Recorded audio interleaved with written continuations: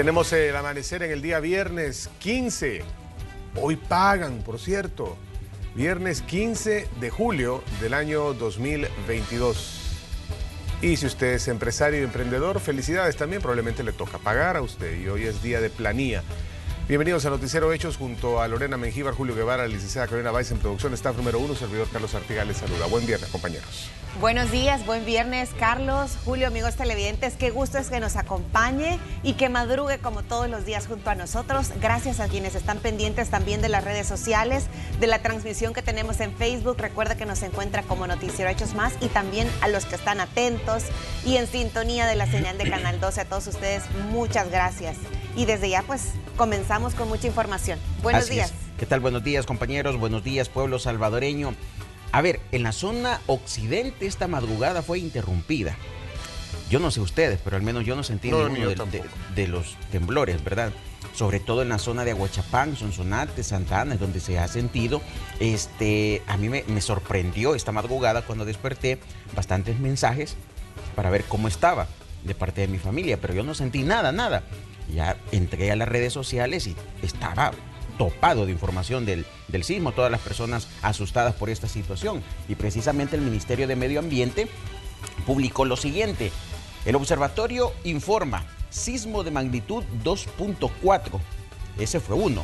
Otro de 2.5 en el municipio de Aguachapán, a 9 kilómetros al noroeste de Aguachapán, a una profundidad de 6 kilómetros. Y aquí está otro, vea usted, este fue de 4,4 en el municipio de Huachapán, a 9 kilómetros al noroeste de dicha ciudad. Y falta otro, 2.4, en la zona de Aguachapán, a 9 kilómetros de igual manera. O sea que en total fueron cuatro sismos los que han sentido los habitantes de la zona occidental del país. Bien, y con esa información, la cual vamos a detallar más adelante, le pedimos que nos acompañe a la presentación de nuestros titulares.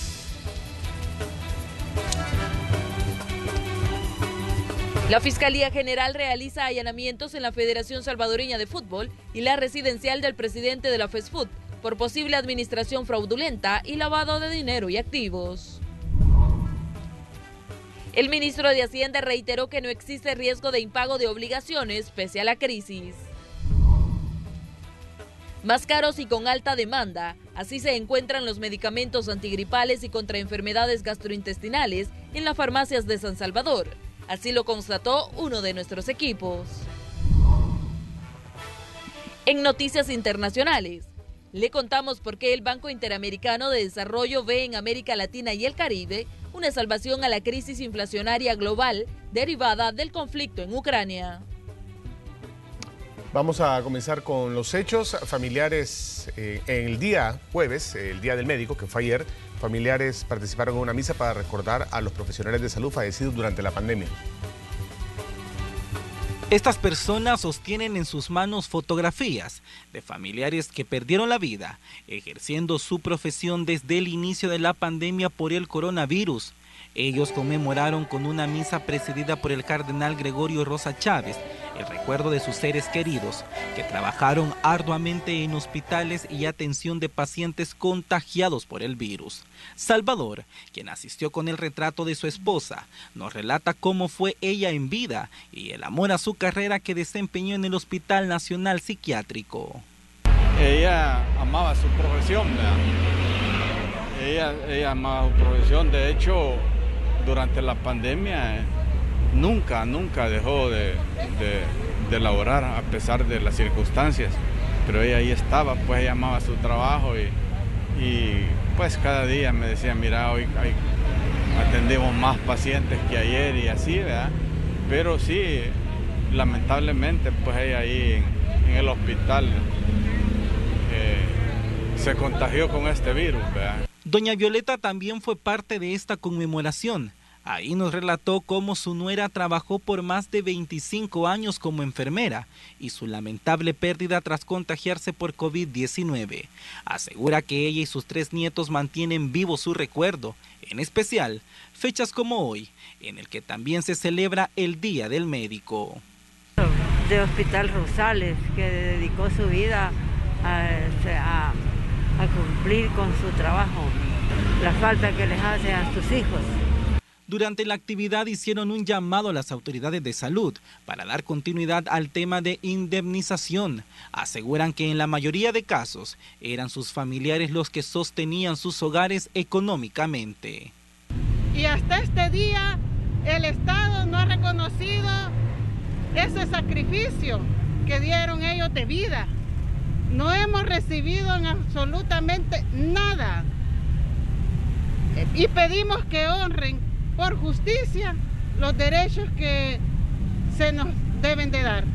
Durante la misa se hizo énfasis en la importancia de este tipo de profesiones que actualmente siguen considerándose en primera línea frente al virus del COVID-19. Aldair Tadeo, Noticiero Hechos.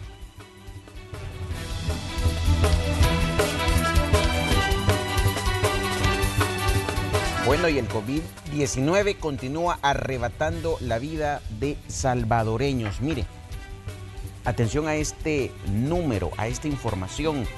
No es para alarmar, pero tómelo en cuenta.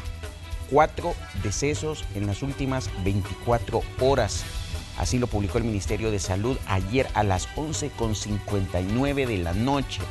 Dos masculinos mayores de 80 años y una femenina del grupo etario de 60 a 70 y otra mujer mayor de 80 años. Si usted se fija, los números se parecen al inicio de la pandemia y no solo en la cantidad de letalidades, de decesos, sino también en el rango de población afectado. Porque todos estos días que hemos estado informando decesos, exactamente de 80 a más, de 70 a más, es el, el grupo etario afectado en la actualidad. Así que tómelo en cuenta, esta es la información actualizada que dan a conocer las autoridades del Ministerio de Salud. Podemos decir que esta semana eh, la situación ha cambiado considerablemente porque desde el sábado venimos con cifras de 4, de 3, 2, 1. Así la situación según las autoridades del Ministerio de Salud respecto al COVID-19. Ahora hablemos del tamizaje. Claro que es importante. Ahora más que antes, sin lugar a duda, por la situación que estamos observando en los casos positivos y en las letalidades, letalidades en los decesos. Vea ustedes, por eso que el señor ministro de Salud informó que los tamizajes comunitarios este día, este día se realizarán en Sonsonate, en el Parque Central, Nuevo Cuscatlán, La Libertad, en el Parque Central y en San Miguel, en el Parque Guzmán, desde las 8 de la mañana.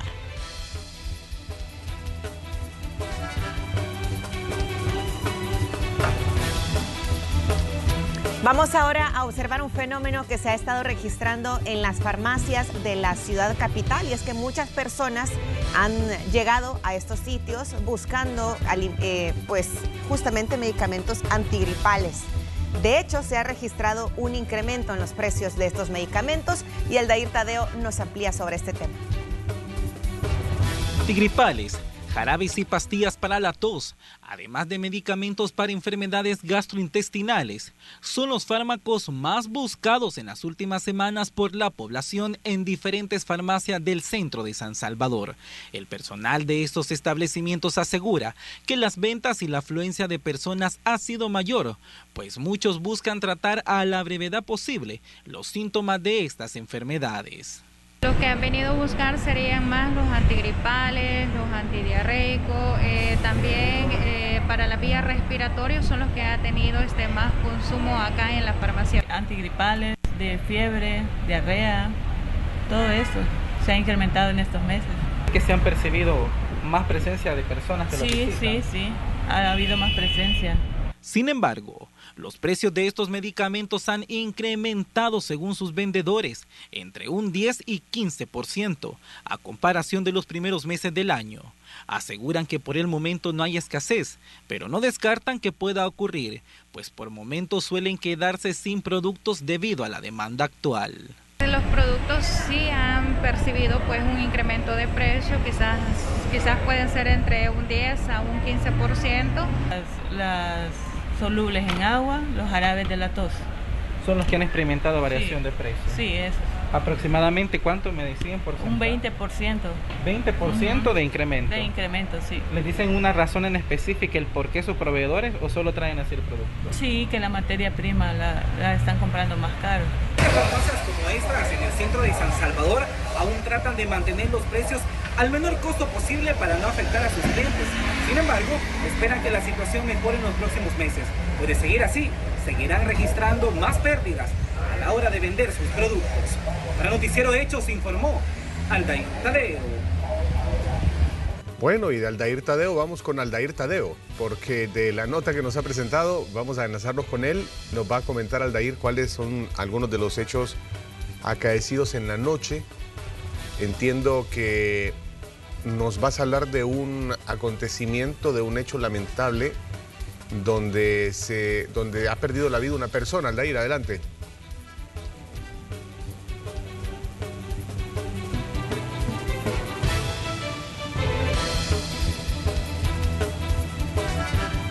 Claro. Perfecto. Ok, Aldair. Más adelante nos enlazamos contigo. Está bien. Vamos con el tuit de Casa Presidencial. El presidente Nayib Bukele se encuentra en reunión con el Gabinete de Seguridad y el fiscal general. La guerra contra las pandillas continúa hasta acabar con los grupos terroristas. Este gobierno no se va a detener por nada y ahí está la imagen que deja testigo de la reunión del fiscal con el presidente y demás autoridades del Gabinete de Seguridad.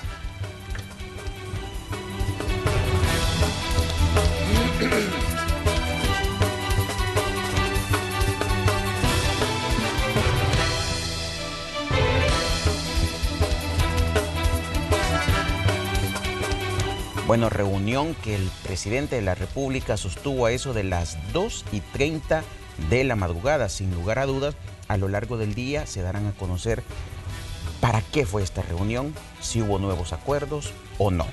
Cambiamos de orden informativo. Le cuento que cerca de 150 niños y jóvenes del Distrito 5 de San Salvador fueron beneficiados con la entrega de lentes oftalmológicos como parte del proyecto Ventanitas de Luz realizada por la Alcaldía Capitalina y la Fundación para el Desarrollo de la Mujer Salvadoreña.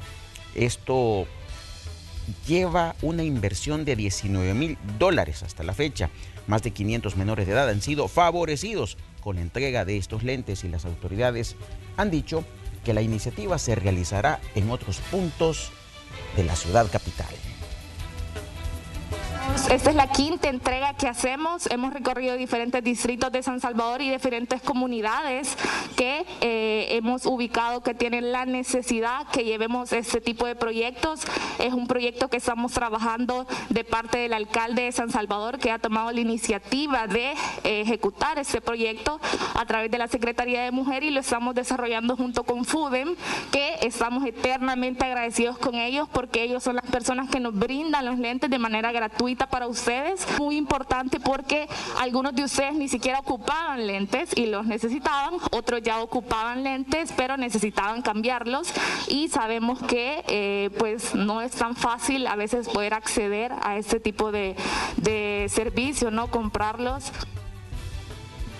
Vamos a cambiar de información. Les comentamos que magistrados del Tribunal Supremo Electoral llegaron a la Comisión de Reformas para de Reformas Electorales justamente para exponer el tema y su opinión sobre las reformas al voto en el exterior. Vamos a conocer más a continuación. Los salvadoreños en el exterior podrán votar de forma electrónica con el documento único de identidad vencido. Esto según las reformas electorales al voto en el exterior que se estudian dentro de la Asamblea Legislativa, que también permitirán que emitan el sufragio en elecciones municipales y legislativas y no solo en presidenciales como en años anteriores. Según la presidenta del Tribunal Supremo Electoral, actualmente registran más de 733 mil personas con DUIs vencidos y vigentes que podrán ser parte del proceso del 2024. desde 2009, 2014 al 2019 ha ido un aumento, un aumento en el interés de la diáspora de votar. Ha habido un crecimiento. Sabemos el trajín que tienen nuestros salvadoreños en el exterior, lo difícil que es ir a renovar el DUI, a pesar de que ya hemos hecho bastante y acercado a través de los consulados con el RNPN, el que ellos ahora puedan tener un acceso más directo a tener su DUI o a renovarlo en todo caso. Acá lo que nosotros estamos realizando es facilitarle a nuestra diáspora, no ponerle más bloqueo, sino que facilitarle en todos los sentidos para que ellos puedan comprender de cómo va a funcionar los parlamentarios también buscan aprobar que la diáspora pueda votar usando el pasaporte, medida que presentaría problemas al Tribunal Supremo Electoral, según el magistrado Julio Olivo. Eh, el pasaporte número uno que menciona, puede mencionar un número uno, no lo extiende la institución encargada de la identidad ciudadana en el país, que es el Registro Nacional de las Personas Naturales. Número dos, el TSE no cuenta con ninguna información ni base de datos correspondiente a este documento por lo que se hace necesario establecer obligaciones a las instituciones que otorgan pasaporte, migración y extranjería. El pasaporte es un documento de naturaleza distinta a lo que sería el documento de identidad, además de que procede de instituciones distintas. En su visita a la Comisión de Reformas Electorales, los magistrados del tribunal solicitaron que estas reformas sean aprobadas lo antes posible para trabajar en el voto electrónico, que debe estar listo ocho meses antes de que se realicen los comicios electorales, por lo que también pidieron que el presupuesto para este proceso se apruebe en diciembre de este año e hicieron un llamado a confiar en esta entidad. Hemos estudiado la ley, hemos visto que la ley, sí es cierto, tiene algunos inconveniente, pero la ley reúne parámetros de una legislación adecuada en materia de voto electrónico. El gran problema, el gran problema no es el sistema que se va a usar o la modalidad. El gran problema es la desconfianza de los actores políticos y de la costumbre de los actores políticos de poner en duda el trabajo de los árbitros electorales. Sobre cómo se asignará el voto en las elecciones municipales y de diputados, los magistrados explicaron que será de acuerdo al municipio y departamento que aparezca en el documento de identidad. Además, mencionaron que se debe contratar un sistema de votación electrónica que garantice que el sufragio sea de manera confiable, seguro, auditable y secreto. Con imágenes de Ricardo Tobar, este es un informe de Rocío Cruz para Noticiero Hechos. Y en tema de seguridad, abogados constitucionalistas consideran que el régimen de excepción podría estar llegando a su fin. Veamos por qué. El régimen de excepción que ya sobrepasa los 100 días podría estar llegando a su final, de acuerdo al análisis de Francisco Bertrán Galindo. La medida ha permitido al gobierno capturar más de 45 mil pandilleros en todo el país decomiso de dinero y armas. Viene con el régimen de excepción, claramente, yo creo que está llegando a, sus finales, eh, porque creo que ya la parte de capturas ha llegado probablemente a, su límite, quedará relativamente poca gente por capturar, eh, y la mayoría de todos los casos ya o, ya fueron presentados al juez o están por ser presentados. Entonces creo que ese es un tema que nos lleva a que la, excepcionalidad tiende a, a ir desapareciendo, creo yo. Bertrand Galindo señaló que la Fiscalía podría enfrentar problemas para comprobar los delitos, principalmente en el caso de aquellos capturados como colaboradores y a los que se les acusa de agrupaciones ilícitas. Porque acuérdese que, por ejemplo, se han, han metido presos a varias gente por ser colaboradores, no por ser miembros de las pandillas. Entonces el tema de cómo probar que usted es el colaborador le obliga a individualizar la actitud de cada uno de esos capturados. Eh, no creo que le sea fácil a la fiscalía cuando está hablando de 40 mil gente. Entonces es muy probable que varios, varios, varios, varios queden libres. Entonces allí viene otro problema que hay que estudiar qué hacer con eso. En otros temas, con respecto a la posibilidad de una reelección presidencial, detalló que existen tres situaciones que deben aclararse jurídicamente. En misma, yo no le veo ningún problema. El tema es acá si constitucionalmente se hace bien o se hace mal. Eh, para mí hay que estudiar con gran cuidado las disposiciones constitucionales porque tienen que resolverse tres cosas. Uno, la condición para ser candidato. Y, dos, el tema de la alternabilidad en la presidencia. Y tres, la duración del periodo presidencial. Con respecto a la posibilidad de reformas a la Constitución, señaló que si bien existe necesidad de hacer ciertas actualizaciones que permitan adecuarla a los nuevos tiempos, es necesario estudiarlas con detenimiento. Informó para la red salvadoreña de medios, Rommel Hernández. Diez minutos para las seis de la mañana. Fíjese que Ricardo Martínez, un televidente, nos está informando accidente de tránsito frente al médico quirúrgico. No hay paso para la 25 Avenida Norte. Muchas gracias Ricardo Martínez. Dice que ha pasado por el lugar hace unos minutos y está bloqueado el paso a la 25 Avenida Norte. Ya lo tomaremos en cuenta. Ya uno de nuestros equipos se va a mover al lugar. Lo repito, accidente de tránsito frente al médico quirúrgico. Ahora nos vamos a un enlace en vivo con el periodista Aldair Tadeo. Aldair, buenos días. ¿Qué tal amaneció? ¿Qué nos cuenta? ¿Qué nos tiene de información? Buenos días, estimado. Qué gusto saludarte y por supuesto, buenos días, El Salvador. Así es, vamos a hablar justo de los hechos acontecidos en las últimas horas o pues los que reciben también las primeras horas de este día, viernes. Vamos eh, precisamente a informarles sobre un hecho que sucedió en el cantón Santa Rosa, esto en Ciudad Arce, en el departamento de la Libertad. Y es que ahí la paz de ese lugar fue interrumpida justamente en las últimas horas ya que un grupo de personas que departía en ese lugar, como ya es costumbre, y lo hacían eh, según las versiones de los vecinos en ese lugar todas las noches, fueron atacados por un sujeto que se encontraba bajo los efectos de las drogas. Según versiones, esta persona llegó donde estaban reunidos y los atacó con un arma calibre 38 y un arma blanca, el cual pues dejó como resultado lamentablemente una persona fallecida. Este fue un hombre identificado como Héctor Antonio Alvarado Arteaga, de 57 años. Según el familiar que se encontraba en el lugar, era una persona bastante conocida en la zona y la persona o el atacante también residía en ese lugar. Vamos a escuchar también en este momento las palabras tanto del familiar de la víctima, así como comando de salvamento quienes atendieron esta lamentable escena. Escuchemos. Pues realmente él, yo sé que es muy trillado decirlo, pero sí era una persona bastante tranquila, era muy popular, muy alegre. Eh, todo el mundo lo conoce y creo que por eso es que están consternados. Dudo mucho que sea un ajuste de cuentas porque él no tenía un empleo formal.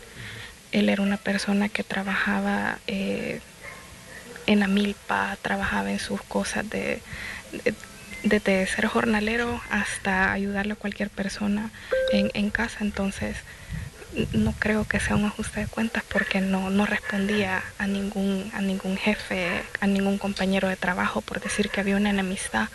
Sí, eh, todo el mundo sabe aparentemente quién fue el, la persona, porque en, el pueblo todos se conocen, está identificada la persona que, hizo esto, sí se sabe que fue una persona que definitivamente no estaba en sus cabales, ¿verdad? Una persona drogada que estaba muy tomada y se atrevió a agredir incluso a, la familia de la persona donde estaba departiendo el ahora fallecido. No, una persona fue lesionada en el cuello con un corvo Sí, y a una señora el balazo fue en la pierna. Y él que fue el más afectado porque tenía una discapacidad y obviamente no logró correr de la escena, así que fue el fallecido. A las 10 y 10 fuimos alertados por una emergencia en el cual asistimos al lugar, en el cual se atendió a dos personas. A una persona atendía por arma de fuego y la otra persona por arma blanca y una persona fallecida en el lugar. Eh, las personas que estaban alrededor se encontraban en estado de ebriedad, pero se trasladaron al centro asistencial más cercano, en este caso a la persona herida con arma de fuego fue trasladada al Hospital San Rafael para que se recupere pronto. Eh, la señora era la que estaba herida de arma de fuego y su acompañante era el que estaba herido por arma blanca. Lamentablemente sí, por la falta de seguridad, eh, lamentablemente este día fuimos reportados por esa emergencia y Bueno, ahí escuchábamos detalles más sobre familiares y también quien atendieron pues, este caso como de salvamento. Y por supuesto también agradecer a nuestro compañero José Delgado, quien gracias a él podemos también, amigo televidente, el poderle informar sobre estos hechos que suceden en horas de la noche y madrugada. Así, Julio, la información. Regreso contigo y estoy pendiente en el siguiente enlace. Aldair, solo una pregunta. ¿No hay personas detenidas? Por el momento y según la información que tenemos, Julio, aún no. Sin embargo, las autoridades están eh, también precisamente ahondando más en detalles sobre este caso y siguiendo las investigaciones respectivas. Sí, porque todo indica que ya se conoce quién es el atacante, ¿verdad? Por lo que decía ahí la habitante de la zona, ya podrían tenerlo perfilado, así que vamos a estar pendientes que puede ocurrir en las próximas horas respecto al trabajo de la Policía Nacional Civil, este ataque armado en el cantón Santa Rosa de Ciudad Arce La Libertad, que ha dejado como resultado a una persona fallecida. Aldair Tadeo, muchas gracias por este reporte. Pendientes, compañero. Qué desorden el que llegó a ser este tipo. Pero bueno, lo que me sorprende es que no lo hayan capturado todavía. es que por eso le preguntaba al Aldair si ya tenían reporte de captura, porque se supone que ya saben quién es y todo, ¿verdad? Tal vez eso le ayuda a las autoridades. Vamos a pausa. Ya regresamos.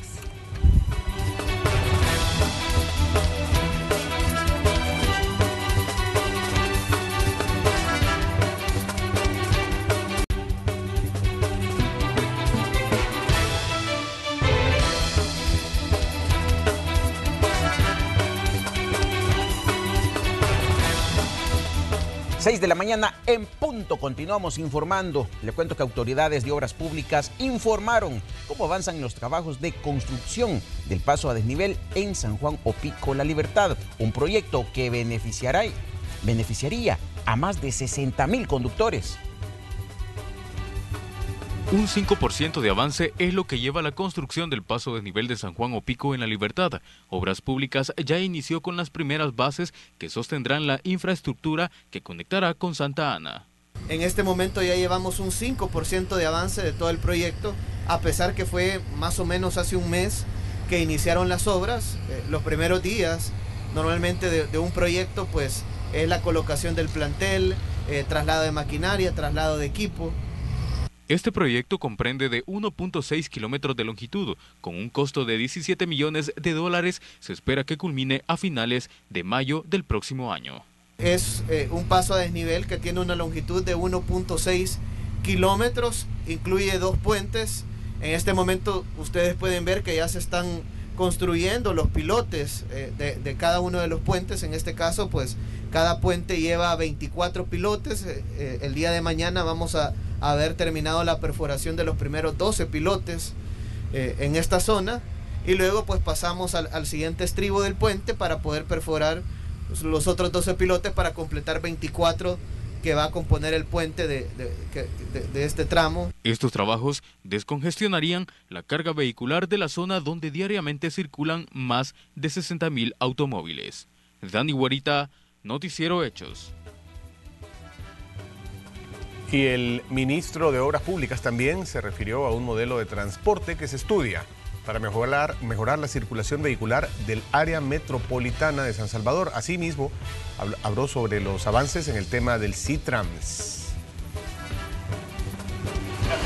Pues, una parte ya de los estudios ya nos los entregaron, eh, que, son parte de eh, unos sistemas de transporte que vamos a realizar para destinos turísticos. Estamos trabajando en eso pero en este momento pues ya están a punto de culminar eh, una de las primeras líneas que va a tener el, el, área metropolitana y que va a pasar por, por, por el sector del, de Soyapango y Lopango y que va a llegar hasta el sector de Santa. En el caso del Citram, pues hay un proceso sancionador, eh, son 600 mil dólares que se están cobrando por multas, eh, además del tema de la concesión de la línea de transporte, entre otro tipo de cosas.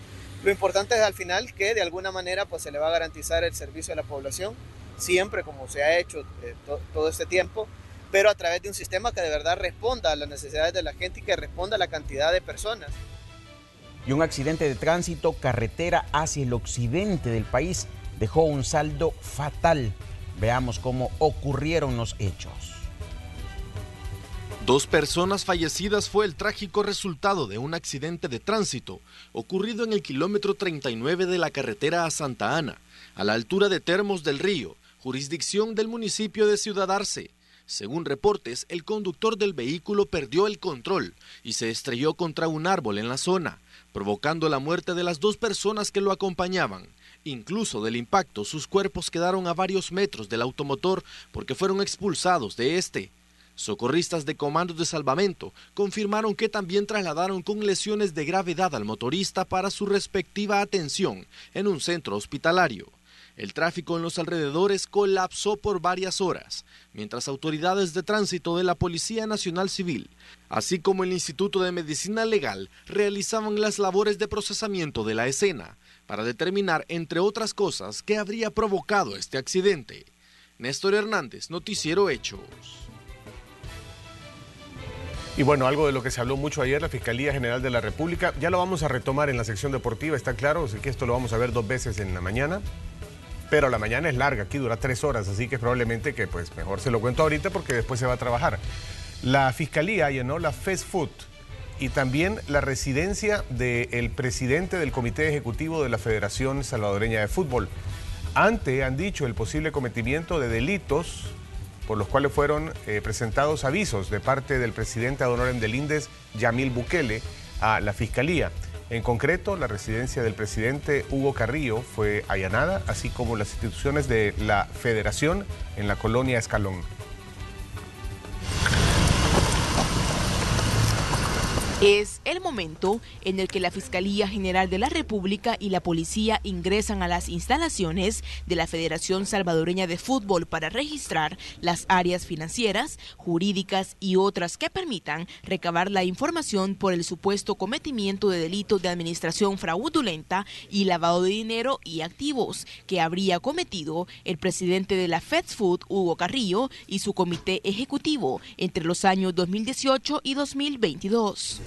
Este día vamos a hacer un procedimiento el cual consiste en que vamos a requerir documentación de diferentes áreas de la federación.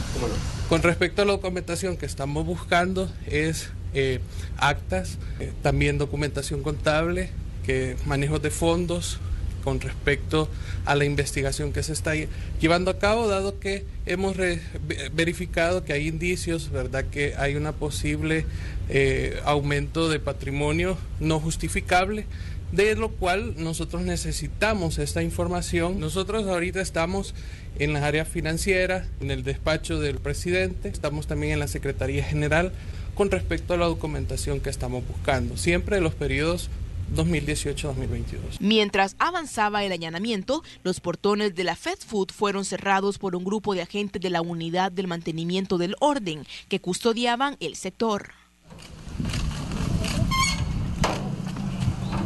De forma simultánea, la residencia de Hugo Carrillo también se allanó. Los fiscales revisaban los documentos y otras evidencias para sustentar la investigación. Se está también allanando la casa del presidente de la federación, que es el señor Hugo Carrillo.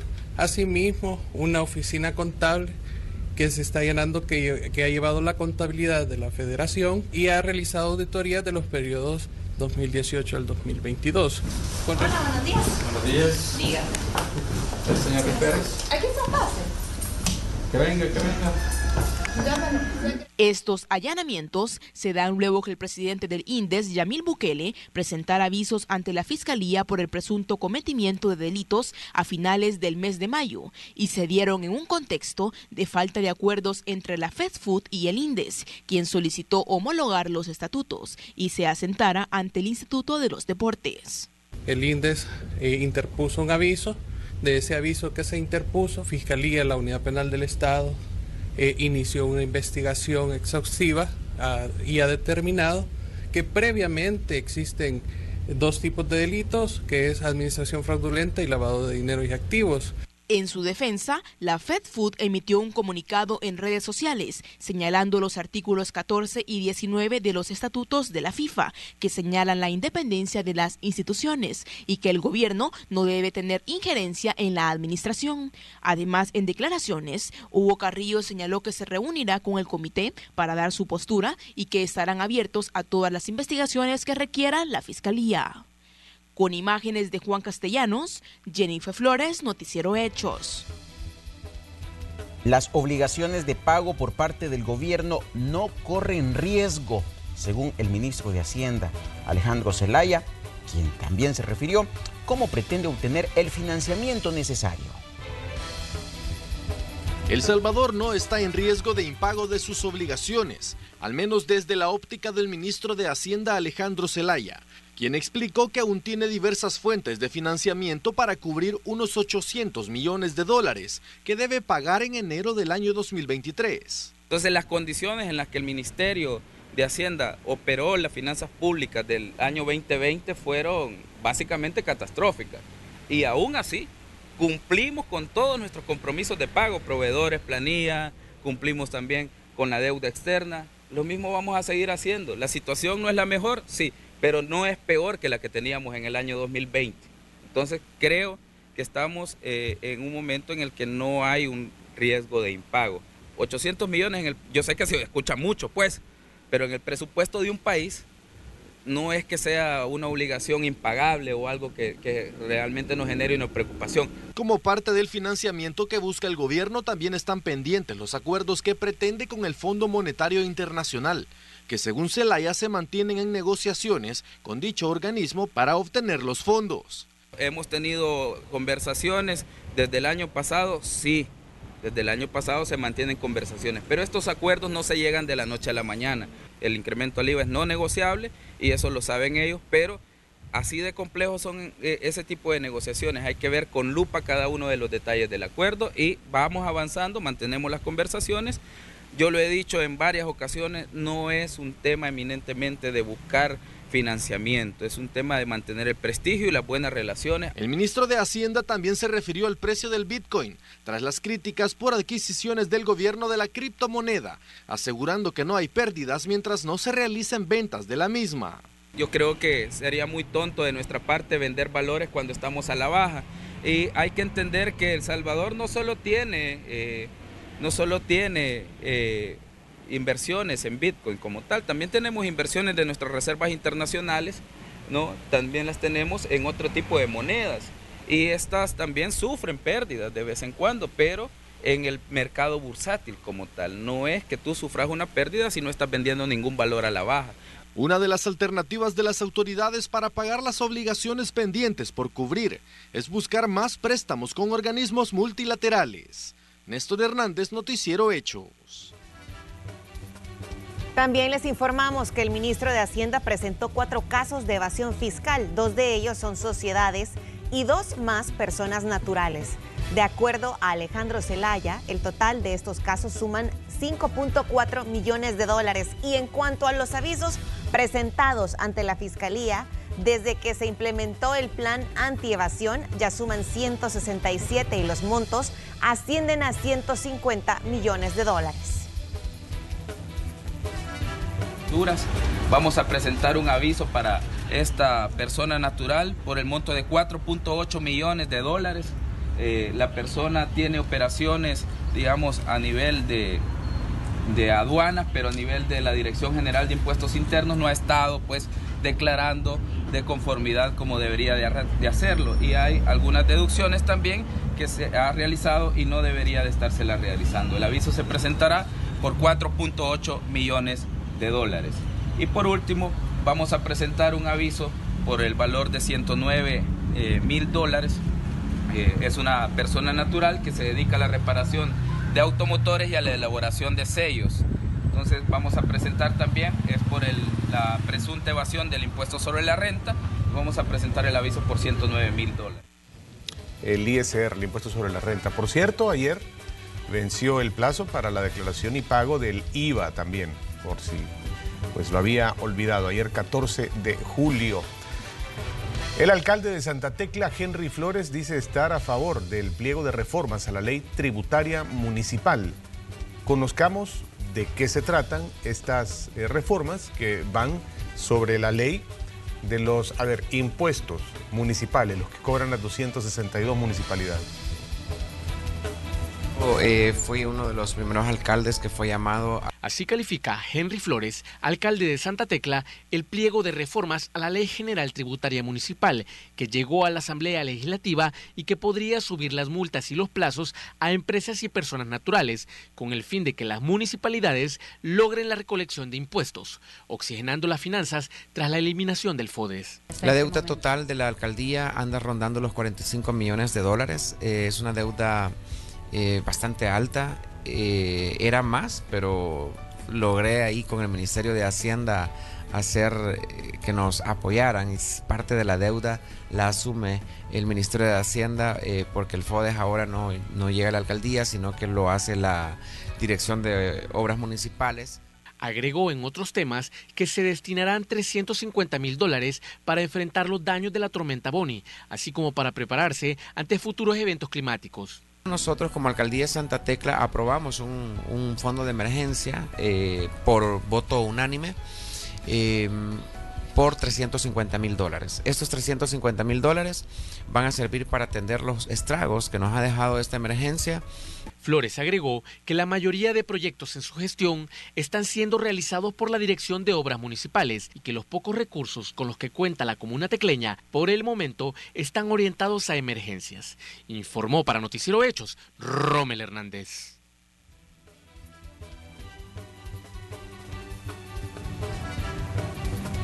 Bueno. también estamos pendientes del tráfico vehicular. Les mostramos perspectiva desde la carretera panamericana. Mucha atención, ya son las 6 de la mañana con 14 minutos.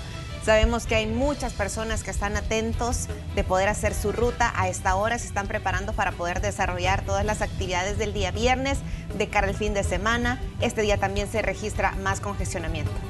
Sí, porque como pagan, pues si es viernes, una combinación. Es la combinación de día de pago y viernes, esa es una combinación que ojalá no vaya a provocar accidentes de tránsito, porque las personas, bueno, vean ustedes los viernes, sábado, bueno, viernes y sábado sobre todo, que dicen las autoridades que los accidentes de tránsito se disparan y venimos de días normales con una barbaridad de choques, así que primero Dios, esta situación no venga a afectar. Por ejemplo, el accidente de ayer que veíamos, Carlos, de las dos mujeres originarias de Metapán. Qué accidente más horrible, imagínense, dos personas fallecidas el resultado. Bueno, pero ¿cómo luce la carga vehicular en este momento? Ahí tienen las imágenes en vivo, antiguo Cuscatlán, carretera panamericana, sentido a la Ceiba de Guadalupe, para mencionarle punto de referencia en el desvío de la zona industrial Plan de la Laguna. Ahí están unas unidades de transporte colectivo bajando a los pasajeros, que por cierto son bastante los que viajan a esta hora, por lo mismo de las fábricas que están ahí en el lugar. Vemos las rutas interdepartamentales y urbanas transitando con toda normalidad. De igual manera, los automovilistas particulares. Y ahí eh, adelante, le, le, diría así, o, atrás, no sé cómo explicarlo, pero lo cierto es que la imagen que ve usted de los vehículos yendo hacia la derecha, en este caso, son los que van ingresando a Santa Elena en Antiguo Cujatlán a carga vehicular. De igual manera, luce despejada. Tómelo en cuenta, por favor, si usted vive en zonas aledañas, 6 de la mañana con 16 minutos.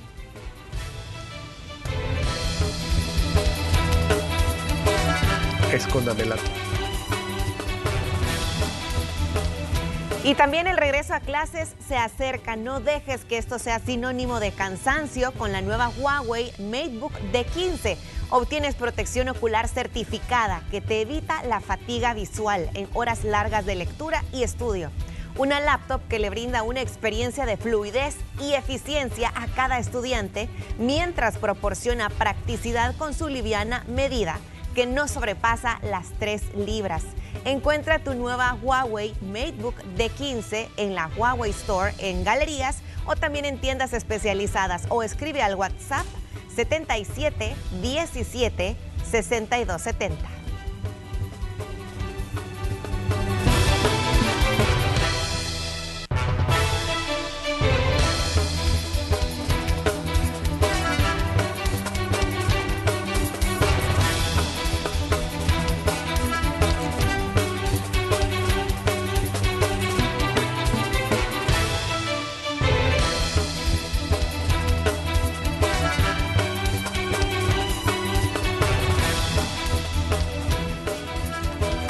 Bueno, vamos ahora a revisar la sección del tiempo. Ponemos en pantalla la imagen del mapa para ver qué es lo que nos espera en este día viernes. Seguimos monitoreando, ya tiene un 100% de probabilidades de convertirse, es decir, tal vez ya lo hizo. Vamos a poner ahí el eh, marcador para revisar cuál es el nombre. Gracias. Perturbación 1, 100% de probabilidad, dice, de formación ciclónica en 48 horas. esto es seguro que en dos días va a ser un ciclón. Fíjese usted, por eso es que la lluvia no se ha pronosticado todavía para hoy, pero ya para mañana sí hay pronóstico de lluvia, para mañana sábado y para el domingo. Hoy, eh, es cierto, siempre puede caer una que otra, pero las posibilidades están abajo, abajo del 22% de que hoy tengamos lluvias, pero sábado y domingo se incrementan debido a esto. A partir de las 5 de la tarde, eh, los datos indican que esta área de baja presión eh, pues se ha definido mejor desde ayer y sus lluvias y tormentas eléctricas asociadas muestran buenas señales de organización. Si estas tendencias continúan, una depresión tropical podría formarse tan pronto como hoy mismo tendríamos ya la depresión y mañana ya la tormenta tropical. Eh, ¿Qué más dice? Advertencia, vendavales, emitido servicio. A ver, información, eh, probabilidad de formación en 48 horas, cerca del 100%, y la posibilidad de formación en 5 días es de 100%. O sea, esto ya están diciendo las autoridades que es casi seguro, no casi, es seguro que se va a convertir en un ciclón. Quitemos la, imagen y vamos a revisarlo. Eh, ahora podemos, este es el, eh, ojo, que este es el el comunicado del Centro Nacional de Huracanes. Aquí está. Eh, ¿Les parece que hagamos la pausa en el clima y regresamos? Sí, y ya mostramos un mapa, regresamos con nosotros después de las declaraciones del ministro. Bueno, vamos con Julio. Así es, gracias Carlos. Tenemos declaraciones en vivo por parte del señor ministro de Salud, Francisco Alaví. Esto está diciendo el funcionario. El año anterior, con relación a la se eh, tanto de ingresos era por causas eh, de delta como, como la cantidad de positivos. Y eso es bien importante porque definitivamente estamos observando cómo el efecto de los biológicos, la primera, segunda, tercera, cuarta dosis que ha puesto a disposición al país eh, todos los efectos de la planeación estratégica y la visión que el presidente implementó para poder salir adelante de esta pandemia han tenido resultados muy favorables. Alguien dirá, bueno, pero estamos teniendo casos positivos. Definitivamente la característica de la pandemia y la característica de este virus en particular es generar esa eh, estabilidad o generar eh, a largo tiempo permanecer como un virus respiratorio y el impacto que está teniendo la estrategia de vacunación pues es eh, disminuir esos efectos adversos. Hay países que en este momento están teniendo grandes cantidades de casos, pero también tienen grandes cantidades de ingresos hospitalarios y complicaciones a causa de COVID-19, eh, principalmente letalidades. Y eso no es lo que está sucediendo en El Salvador. Si bien es cierto, hemos llegado a valores que incrementaron hasta 500 casos por día, de alguna manera los ingresos hospitalarios pues están teniendo un promedio de 18 a 20 casos por día en comparación con el año anterior que pudimos haber tenido más de 200 casos confirmados por día. Esto es un virus que va a continuar, va a continuar generando efectos negativos eh, a nivel mundial y es muy importante que la población eh, reconozca que continúa siendo una enfermedad de salud pública que puede afectar a aquellas personas vulnerables, aquellas personas que tienen enfermedades crónico-degenerativas, personas adultas arriba de 60 años personas que pues sus propios padecimientos puedan llegar a generar un efecto mayor negativo ante la salud. Pero también quiero agradecer a la población porque continúa utilizando la mascarilla, este, eh, este medio o este eh, insumo médico que nos permite la protección y que de alguna manera pues ha sido parte fundamental en combinación con las estrategias eh, de prevención, con la estrategia de vacunación, con el poder contar con un hospital El Salvador que tiene la capacidad en este momento de poder atender a más de 800 pacientes para poder garantizar de esta manera eh, el poder salir adelante de esta enfermedad y por supuesto en combinación de las estrategias del sistema eh, de emergencias médicas a través del su center el 132 que continúa realizando todos los esfuerzos para cuidar de la población salvadoreña. Es así como a la fecha continúa eh, brindándose todo el teleseguimiento por 14 días a través del call center, la entrega del kit de medicamento, como es el caso del molnupiravir, que nos permite pues estar más seguros ante la inhibición de la replicación viral, que es el efecto principal, y por supuesto también todos los medicamentos que están a disposición a través del kit con medicamentos para los síntomas como, el acetaminofén, multivitamínicos, entre otros. Estas medidas se integran unas con otras y nos permite pues ir saliendo adelante ante esta enfermedad tan importante. Vamos a continuar realizando eh, la identificación de cuáles el diferentes, los diferentes subvariantes de, en este caso muy probablemente de Omicron que está circulando, ya se mandaron las muestras, estamos pues todavía en, en la espera de los procesamientos para poder confirmar lo que la evidencia internacional nos ha demostrado que es en este momento la circulación de BA2.75, que es una de las principales subvariantes de, de, Omicron que están generando este efecto incremento de casos a nivel internacional.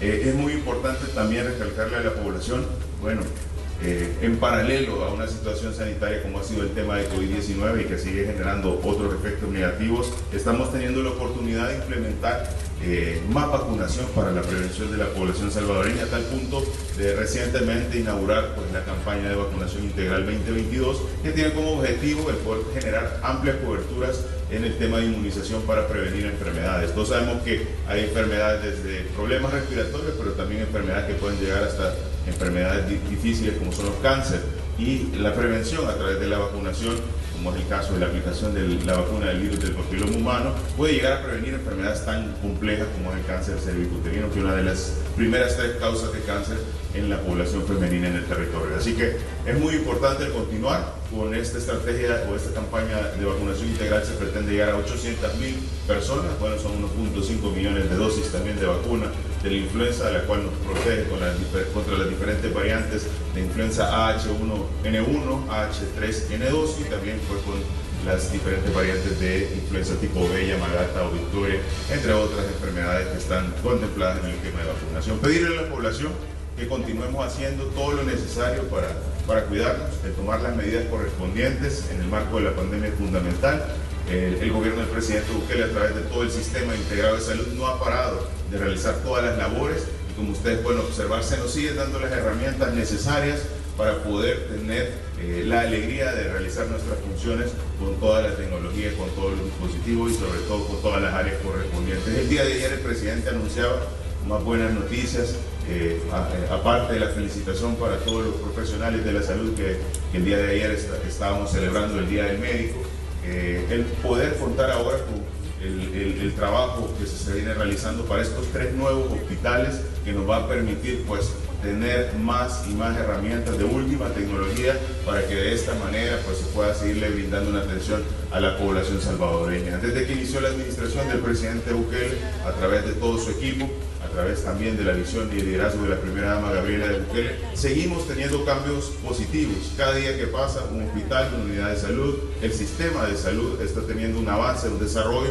están llegando equipos, están llegando insumos, tenemos pues todo un esfuerzo que va integrado y planeado desde la atención de la familia hasta los diferentes grupos etarios abordando las enfermedades que ponen en riesgo a la población y eso es de admirar porque nunca antes se había tenido un sistema de salud tan fuerte, tan robusto eh, tan sólido para atender a la población salvadoreña y creo yo que todos los médicos, todo el personal de salud no me va a dejar mentir del equipamiento, de los insumos, de las diferentes estrategias diagnósticas y terapéuticas y áreas físicas con las que ahora contamos para poder desempeñar nuestras funciones con lo último de tecnología. Así que un llamado a la población, continuemos haciendo todo lo necesario por cuidar de nuestra salud en los diferentes aspectos sanitarios Evidentemente el COVID continúa en nuestro territorio, pero es muy importante el que hagamos uso de todo lo que se puso a disposición a través de la visión del presidente, el kit de molnupiravir, el telecentro de llamadas, eh, el hospital en los casos necesarios inminentemente,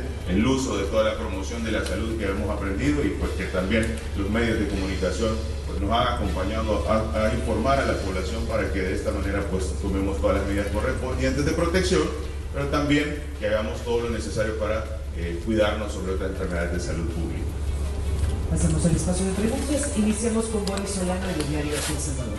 Continúa en el país. Claro, claro el ministro de Salud haciéndole un llamado a la población a no bajar la guardia. Según el funcionario, continuamos con aproximadamente 500 casos positivos de COVID-19. Así que atención a la población. El señor ministro ha dicho que por favor continuemos utilizando mascarilla. Que se agradece cuando la población utiliza la mascarilla, estaba mencionando también, y sobre todo recordando cuáles son, em, detectando también o determinando la situación actual de las variantes de COVID-19, que siempre se mandan a laboratorios internacionales pruebas para determinar qué variante es la que tiene mayor predominancia en estos momentos. Y sobre todo ahora que ha aparecido la, Centauro. Centauro, la 2.75, vea, 2.75, que es la nueva variante que está preocupando a las autoridades de salud. Vamos ahora a las noticias internacionales, ya son las 6 de la mañana con 28 minutos, enfocándonos en la agenda internacional de las noticias con Sofía Pisani y la agenda informativa. Sin un camino claro para impulsar las conversaciones de paz entre israelíes y palestinos, el presidente de Estados Unidos, Joe Biden, ofreció dinero estadounidense como bálsamo mientras visitaba el viernes un hospital en Belén, en Cisjordania. Aunque los 100 millones de dólares propuestos en fondos de atención médica por parte del presidente requieren la aprobación del Congreso de Estados Unidos, el mandatario estadounidense también está anunciando 201 millones de dólares para la Agencia de las Naciones Unidas que va específicamente a los refugiados palestinos, además de cantidades más pequeñas para otros programas variados. Entre tanto, el presidente de Irán, Ibrahim Raisi, lanzó este jueves una advertencia a Estados Unidos e Israel de una respuesta dura y lamentable a cualquier medida contra la República Islámica. Raisi hizo sus declaraciones mientras que el presidente estadounidense Joe Biden se encontraba en Jerusalén discutiendo con las autoridades israelíes sobre las preocupaciones ante el rápido avance del programa nuclear iraní.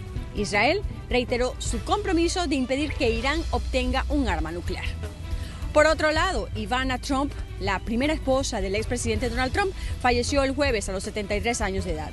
Así lo informó el expresidente. Según detalló el exmandatario, dijo que se entristecía mucho informar a todos los que la querían, que son muchos, que Ivana Trump ha fallecido en su casa en Nueva York. La pareja, que se divorció en el año 1992, tuvo tres hijos, Donald Trump Jr., Ivanka y Eric.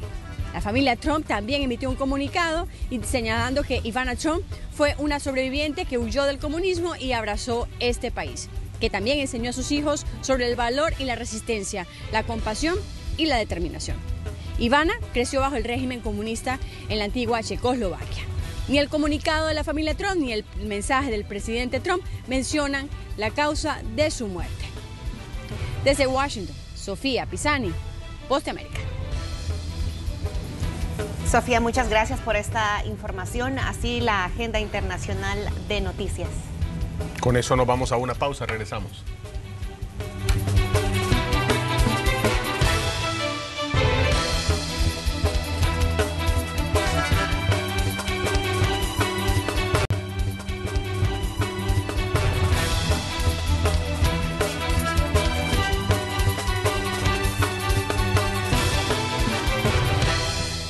6 de la mañana con 33 minutos. Continuamos informando. Nos vamos hasta la carretera panamericana, tramo conocido como Los Chorros. Ahí se encuentra el compañero Dani Guarita. Dani, buenos días. ¿Cuál es el reporte?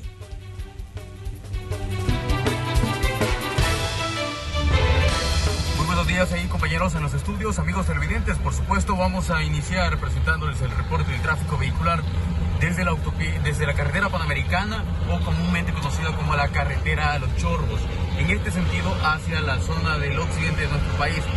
Pues es así como luce. De momento pues observamos que el tráfico está bastante favorable desde este punto sentido hacia el occidente.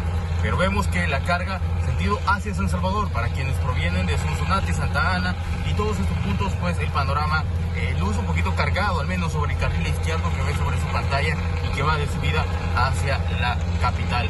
Aquí vemos también, vamos en esa dirección, y entre más vamos adentrando sobre esta carretera Los Chorros, pues vemos que el panorama es bastante favorable para que usted pueda circular en este punto. Sin embargo, hay que tener en cuenta de que se están realizando una serie de trabajos sobre esta zona y posteriormente a ello hay que tener mucho cuidado ya que pues las autoridades recomendaron en este caso que van a continuar los trabajos al menos durante un lapso de 12 meses y pues ante esta situación hay que tener en cuenta de que habrán algunos obstáculos que se encontrarán a las, sobre la calzada o a la orilla de la carretera y esto puede ocasionar algún inconveniente para algunos automovilistas. Sobre todo la recomendación es también para que guarde la distancia y que por favor maneje a una velocidad adecuada para evitar algún accidente. Si usted está observando que en este momento le estamos presentando el reporte de tráfico vehicular en movimiento, no se preocupe porque tenemos instalados sobre el parabrisas un dispositivo para que él eh, vaya pues eh, grabando prácticamente lo que eh, vamos o tenemos adelante. En este caso pues el tráfico vehicular que queríamos presentarle desde este punto de la carretera panamericana sentido hacia el occidente o hacia San Salvador, tal desde estos puntos. Así que es parte del panorama a esta hora de la mañana. Mucho cuidado y mucha precaución, sobre todo si usted va a salir de casa y tiene previsto poder circular sobre esta principal carretera.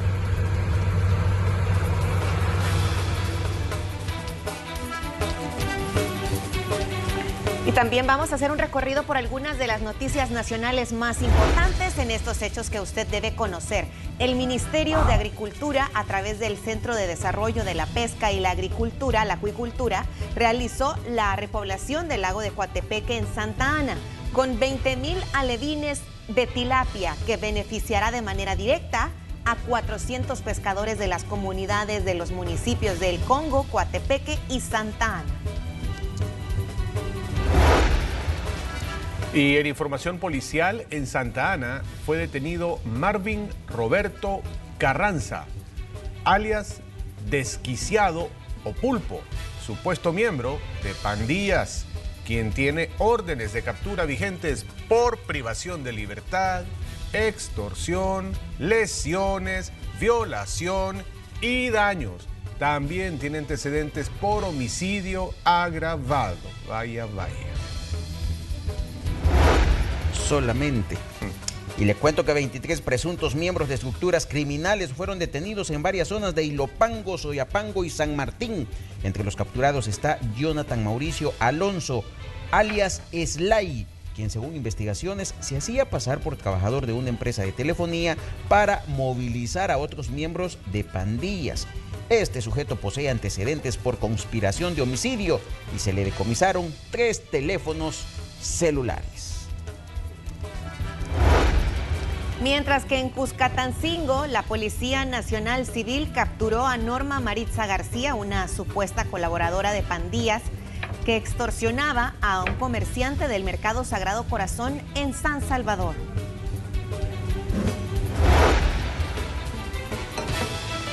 Y a juicio fue enviado el ex fiscal Larry Ovidio Flores Enríquez, acusado de agrupaciones ilícitas, fraude procesal y simulación de delitos. Según investigaciones, formaba parte de una estructura dedicada al hurto y robo de vehículos, así como a la falsificación de placas y chasis. El ex fiscal es además padre de uno de los imputados de agrupación ilícita.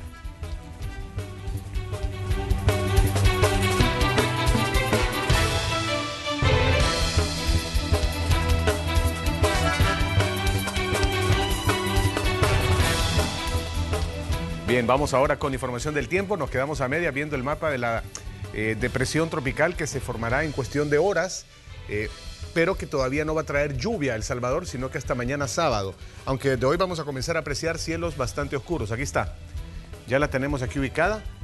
Aquí va eh, formándose. Nos quedamos en que ya se le da un 100% de probabilidad. Podemos hacer un poco más amplio el mapa para ver más cómo se aprecia en un contexto más macro. Veamos si la podemos hacer el, mapa, eso, exactamente eso. Eh, justo eso, gracias, gracias, gracias. Bueno, esta no es la, trayectoria, ¿verdad? Nos podemos ubicar acá tal vez en el verde y te da, algún, te da alguna información. ¿Sí? Está... Sí, sí, sí, sí, sí. Esto es del julio 7. No, esto ya pasó, ¿verdad? Esto era lo que, lo que dejó aquí el paso de la última tormenta. Esta es la que tenemos que observar y sobre esta todavía no hay indicador porque está formándose, pero va desplazándose para allá, está dejando a su paso mucha inestabilidad atmosférica en la zona y en la costa de Guatemala en especial. Afortunadamente, lo bueno de esto es que en el Atlántico todavía no tenemos ningún fenómeno que pueda o veamos que se pueda desarrollar. Ahí arriba sí, pues, pero ahí arriba no nos, no nos afecta mucho a nosotros. Es los Estados Unidos y las costas del, del este los que estarán preocupados observando lo que sucede allá, pero acá en El Salvador nos interesa este fenómeno. Fíjate que no sé si me he confundido este o es este el que se va a desarrollar. Podríamos regresar al mapa anterior. no, te meto en problemas y te pido que nos vayamos al, al mapa anterior, al que veíamos en la página del Centro Nacional de Huracanes. Gracias, el que tenías cargado, como se dice en buen salvadoreño, desde hoy. El que tenías cargado hace un ratito, ¿verdad? Para decirlo correctamente, o hace un momento, hace un instante. Gracias.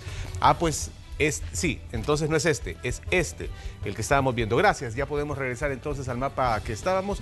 ¿Por qué se dice 100%? Aquí estamos hablando de este fenómeno, es el que se va a desarrollar, puede convertirse en tormenta, se va a convertir en tormenta, ya le dieron 100% y seguramente va a ser huracán, pero a esa altura va a estar por acá, probablemente tenga un área de incidencia así de este tamaño, un diámetro considerable y lo importante es que si bien es cierto no nos va a pegar directamente, pero va a generar inestabilidad, por eso que la probabilidad de lluvia está instalada para mañana, sábado y para domingo. En resumen, vamos a tener un fin de semana con bastantes posibilidades de lluvia y eh, hoy viernes menos posibilidades de lluvia, puede planear sacar el asador, sacar la parrilla, echarle el carboncito y asar la carne si quiere hoy en la noche, pero para mañana, sábado y domingo, tome en cuenta de que puede ser que le caiga agua. Eh, ahí tenemos el mapa de la actividad eh, de la lluvia con poca presencia en las últimas horas en nuestro país, por eso es que se han reportado pocas lluvias ayer jueves y hoy también así va a ser. Eh, aquí está el epicentro del sismo, fíjese, que fue sentido... ¿A qué hora fue, Julito, el temblor? Pero usted no lo sintió, dice, ¿verdad? Está bien. No lo sintió Julito, dice, no sé por qué. Bueno, a esa hora fue el temblor, a las 2.45. Y las temperaturas, rápidamente, ahí está la intensidad, es que fue uno fuerte. Bien, fíjate, incluso el sistema dice que hasta el domingo es posible que llueva, que mañana no tengamos, pero ya de mañana sería de considerar, pero hoy bastante agradable, al igual mañana, ya lo, domingo y lunes sí puede ser con ese ciclón formado que tengamos lluvia. Tómelo en cuenta, son las condiciones del tiempo. Bueno, gracias Carlos. Eh, 6 con 42 minutos. Hace unos minutos le dije de un accidente de tránsito registrado en la zona de la Juan Pablo II, específicamente frente al Hospital Médico Quirúrgico. Ahí tenemos las imágenes.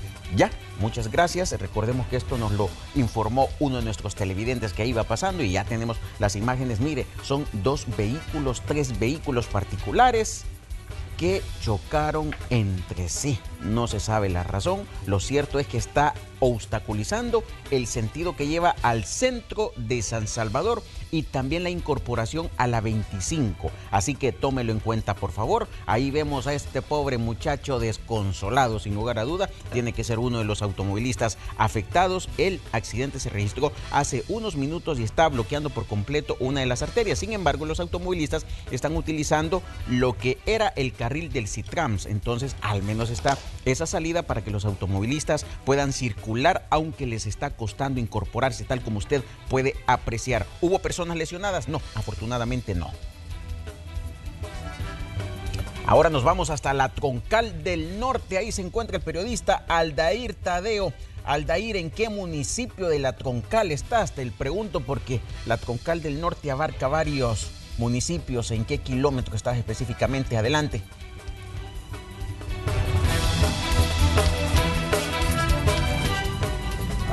Vamos a hablar de la carga vehicular que se genera a esta hora sobre la carretera troncal del norte, justo a la altura del kilómetro 10 y medio para quienes transitan en esta zona.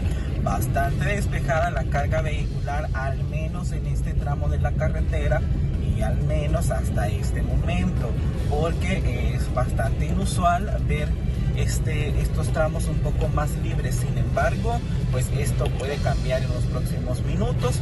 Y también recuerde que en diferentes puntos de la carretera troncal, eh, de preferencia este día viernes, siempre se encuentran, eh, en este caso, pues gestores de tráfico realizando pues esa importante labor de poder direccionar la carga vehicular en aquellos puntos que se vuelven más complicada. Por ejemplo, acá eh, ya casi pues llegando al kilómetro 8 eh, de este mismo tramo de la carretera que conduce a San Salvador, pues continúa bastante despejada la carga vehicular sin mayor inconveniente, al menos a este momento de la mañana.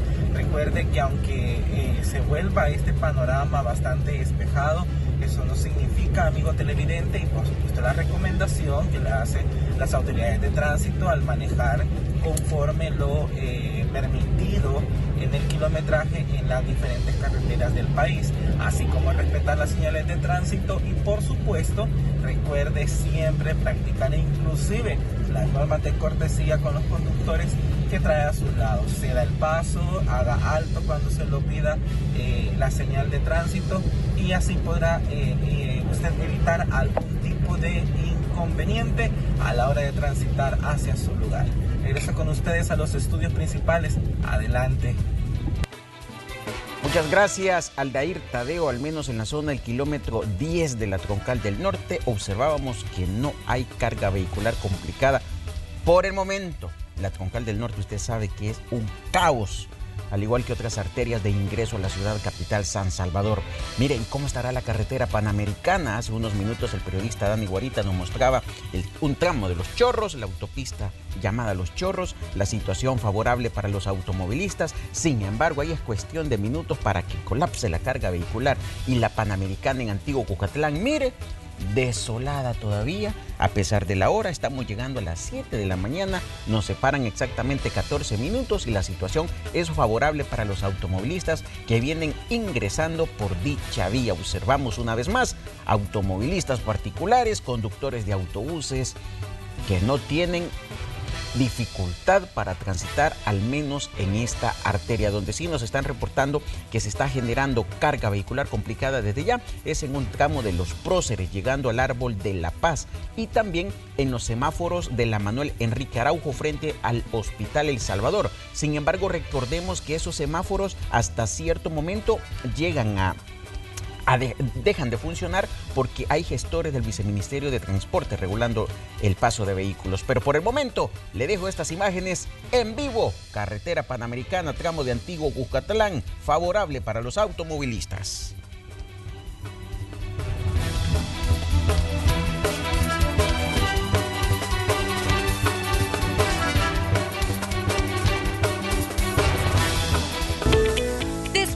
Alegría en tus mañanas probando los ricos desayunos de Pizza Hut. Presenta.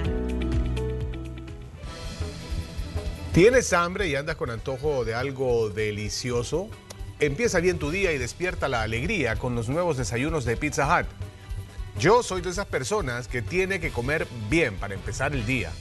Por eso me encanta que Pizza Hut tenga los slams, los desayunos más completos y llenadores que tienen con opciones típicas, estilo americano y hasta tienen una opción fit. Pero si quieres empezar el día comiendo algo más típico, pues pueden pedir los deliciosos desayunos granjero o tamalero que traen un rico tamal para que empiecen su día con todo el sabor salvadoreño. Despierten la alegría en sus mañanas probando los ricos desayunos de Pizza Hut. Y gracias a Pizza Hut vamos con el siguiente reporte es eh, Rommel quien se encuentra en eh, Zona Rosa. Zona Rosa. Adelante, Rommel. Despierten la alegría en sus mañanas probando los ricos desayunos de Pizza Hut. Y ahora conozcamos el reporte del tráfico gracias a Pizza Hut. Así es, compañeros en el estudio y amigos televidentes. En efecto, déjenme contarles que lo que observamos es la carga vehicular que baja desde la zona de Avenida La Capilla hasta el Redondel Italia por el Boulevard del Hipódromo. A estas horas de la mañana la carga vehicular es bastante fluida como puede observar y no presenta mayores inconvenientes para integrarse a los diferentes carriles de este bulevar. Por otro lado, si usted proviene desde Carretera Panamericana o Alameda Manuel Enrique Araujo, déjeme contarle que la carga vehicular acá no presenta mayores inconvenientes y que prácticamente es nula. Así que es una muy buena opción para poder integrarse al Boulevard del Hipódromo y poder dirigirse a diferentes destinos con los que conecta esta arteria. Por otro lado, déjeme contarle cómo se encuentra a estas horas de la mañana la carga vehicular en los carriles del Boulevard del Hipódromo que conectan con la 79 Avenida Sur. Ahí tenemos al fondo en su pantalla de derecha a izquierda una carga vehicular bastante leve y que no presenta ningún inconveniente, al igual que las otras arterias de automóviles con desperfectos mecánicos o en accidentes de tránsito. Hasta aquí mi informe. Regreso con esto, la señal a los estudios principales. No sin antes desearles tengan un feliz día. Despierta la alegría en tus mañanas probando los ricos desayunos de Pizza Hut. Presentó. Ya son las 6 de la mañana con 50 minutos. Vamos a establecer contacto con la cabina del 104.5 Sonora FM. Ahí se encuentra nuestra compañera Graciela Rajo. Le damos los buenos días, Graciela. Adelante. Buenos días, Lore. Qué placer estar de nuevo con todos ustedes porque tenemos siempre buenas noticias para que amanezcamos de 10. Exactamente. Nosotros sabemos que Coscafé es indispensable al inicio de nuestra jornada porque se hace con calma para que nosotros en Canal 12 y también en Sonora FM en el 104.5 lo disfrutemos en un instante. Así es, porque Coscafé instantáneo es 100% puro y está hecho en El Salvador. Hecho en casa y como siempre aquí las presentaciones diferentes que tenemos en Sonora FM, la de sobrecitos, la de 400 gramos y la granulada para que nunca nos haga falta. Son las presentaciones que podemos encontrar a lo largo del país para que disfrutemos ese cafecito hecho con manos salvadoreñas. Sí, que es tan necesario en las mañanas. Graciela, muchas gracias por todas estas recomendaciones. Por supuesto que disfrutamos aquí en Hechos AM también de Coscafé. Eh, y seguramente en muchos hogares, en muchas oficinas sucede de esta manera. Muchísimas gracias, les deseamos un excelente viernes y un gran fin de semana. Excelente viernes también para ustedes y le envían saludos también a la señora productora Carolina Baiza, acá del señor Denis Enrique Roldán. Buenos días. Ah, con mucho gusto, aquí le trasladamos el saludo. Buenos días, vamos a hacer una pausa comercial con esta invitación, regresamos en minutos, manténgase pendiente, esto es Hechos AM.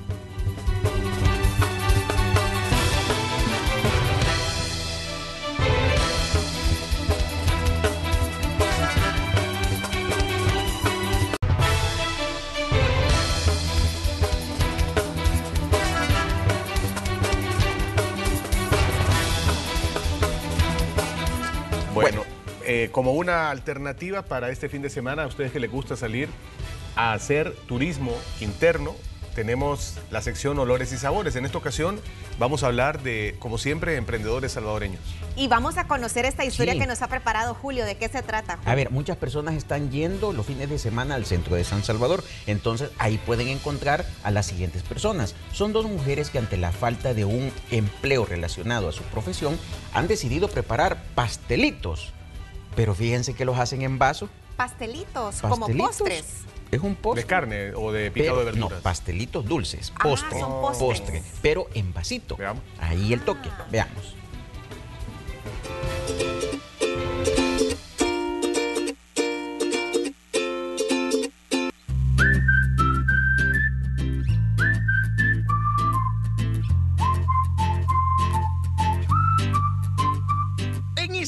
Viajamos a Ciudad Delgado, municipio del Gran San Salvador. El objetivo de este día es conocer a dos mujeres calidad. Me refiero a Lidia y a Erika, dos emprendedoras que han decidido trabajar en el área de panadería y pastelería. Desde hace varias semanas comienzan sus días aquí. La llaman el área del pan, porque precisamente es lo primero que hacen. Pan, la base, lo fundamental del emprendimiento?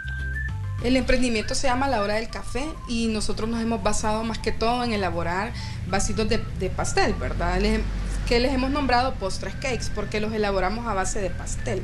O sea, son productos frescos, son productos que se elaboran a base de eh, productos naturales y pues cada, cada uno tiene su propio sabor. Tenemos cinco sabores, algunos sabores son de temporada, eh, tenemos maracuyá, también hay de café, también elaboramos otro tipo ya más personalizado de postres. A ver, ¿les quedó claro? Creo que algunos me dirán que no, pero tranquilos, escucharon bien. Las cosas son así porque se trata de un emprendimiento que está dando de qué hablar por la innovación.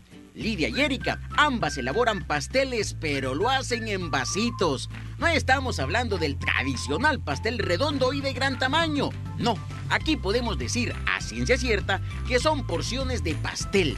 Cabalo que usted se come. Sí, pasteles, pero en vaso. ¡Qué cosa más interesante!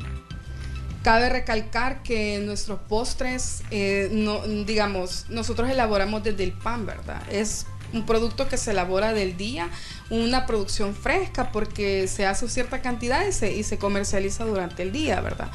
Eh, hasta agotar la existencia, digamos. Y acá elaboramos, lo, acá tenemos lo que es el área del horno, donde se hacen todas las mezclas para elaborar los diferentes tipos de pan.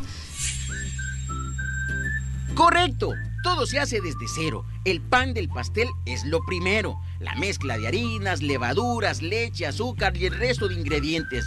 Luego al horno. Bastan 20 o 30 minutos para que esté lo principal. Luego, manos a la obra. Falta el resto. Luego, dejamos, o sea, que enfríe el pan para proceder a montar los postres en cada vasito. Procedemos a con el molde a sacar los trocitos de pan, los ponemos este dentro del vaso, así vamos montando cada vasito, luego remojamos, luego seguimos con el rellenito de las frutas, continuamos con eso, ponemos fruta, va el de tres leches, chocolate, caramelo y así vamos montando cada postre, cada sabor. Así, poco a poco los pasteles de vasito, como dicen entre ellas, van agarrando forma. Yo nunca había visto pasteles así. Justo mi pensamiento fue lo que Lidia imaginó, sería el de muchas personas. Pensando en cómo salir adelante y teniendo en cuenta algunos conocimientos gastronómicos, una noche dijo, ¿y si hago pasteles pero personales? Lo pensó y al día siguiente comenzó a trabajar en ella. Erika fue fundamental para que todo arrancara se llevan bien, así que decidieron aprovechar sus cuatro manos para levantar un negocio que les genera dinero para salir adelante de manera honrada. Bueno, nos motiva cada día poder eh, levantarnos y decir vamos a trabajar. Eh, porque sabemos que estamos produciendo un producto original, un producto que nosotros tenemos nuestras propias recetas y pues que la verdad es, nuestra motivación saber que el cliente puede eh, adquirir un producto original, como le mencionaba, pero sobre todo es las ganas de salir adelante en el país y poder posicionarse, digámoslo así, ¿verdad? Entrar en el mercado y llegar al cliente. A todo esto el pan ya estuvo. Ya nos explicaron que deben introducirlo en el vaso. Algunas de las variedades se humedece y a seguir con el proceso. Hay tres leches y frutales. Ambos se venden literal como pan caliente, aseguran las emprendedoras, que todos los días se levantan motivadas a seguir trabajando incansablemente porque sueñan con algún día tener una pastelería de renombre. Bueno, tenemos que hablar de un punto fundamental, la decoración de cada pastel, de cada vasito. Sabemos que es indispensable porque la imagen y los sabores deben ir de la mano para atrapar el estómago y la vista de quienes a diario les compran. De caramelo lleva su, su rellenito de caramelo en medio y encima con galleta. Y los otros que son de fruta, ¿verdad? El de fresa igual. Se le pone color al chantilly para que vaya de color rosadito y se le pone la fresita. Y el de fruta, no, ese va blanquito y se le agrega la decoración de fruta, melocotón, lleva uva, lleva y lleva kiwi, el de fruta. El otro lleva nada más este el de chocolate, va el pan todo de chocolate. Mis amigos, aquí están los pasteles en vasitos. ¿Qué les parece? Pero saben, esta solo es la primera parte del emprendimiento. Cuando todo está listo, salen a las calles de Ciudad Delgado y San Salvador. Recorren caminando varios kilómetros para vender sus creaciones.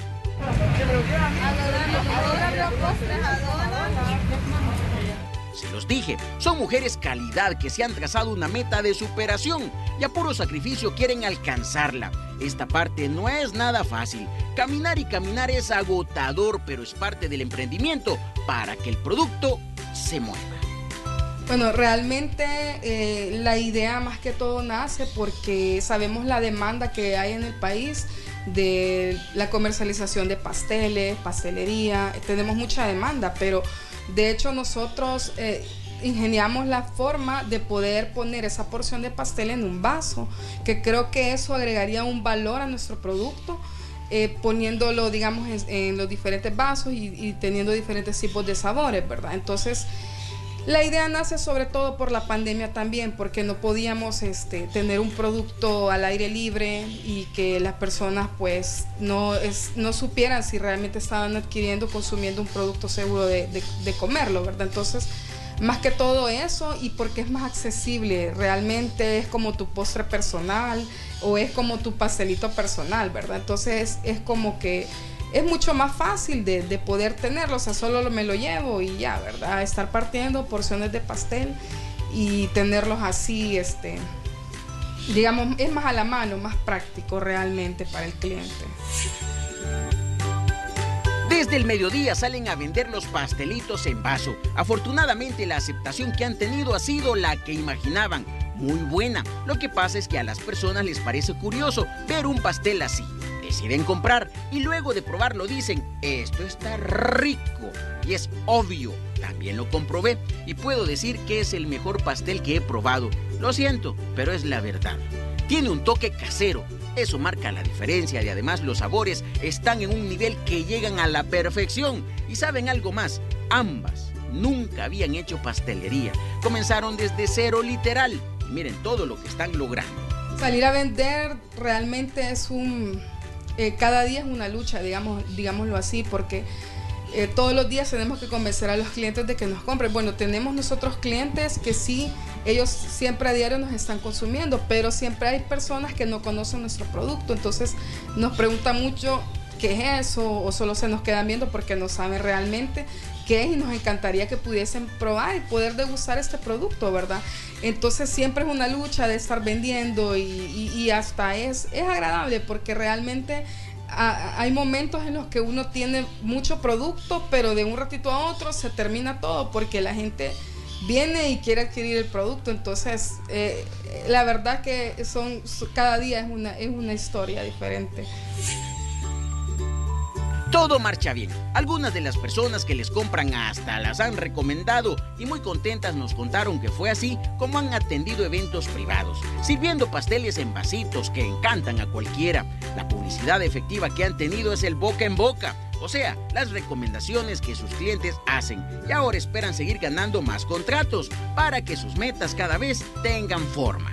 Pueden hacer pedidos a nuestro WhatsApp, ¿verdad? Siempre estamos pendientes de contestar a todos los que nos escriben o los que están interesados en hacer en preguntar, digamos, ¿verdad? O si podemos llegar a ciertas zonas al 7867 2192 y también estamos en las redes sociales como eh, La Hora del Café. Así nos pueden encontrar en Facebook. A diario usted las puede encontrar en Ciudad Delgado y en el centro de San Salvador. Recorren varios kilómetros. Es cansado, por supuesto, pero los deseos de triunfar pueden más. Dos salvadoreñas que demuestran que para salir adelante se debe luchar y hasta cierto punto quitar cualquier complejo. Ellas lo están logrando a puro trabajo. ¿Quién diría que la venta de pasteles en vasitos sería una esperanza económica? Pero sí, lo es. Ahora lo comprobamos.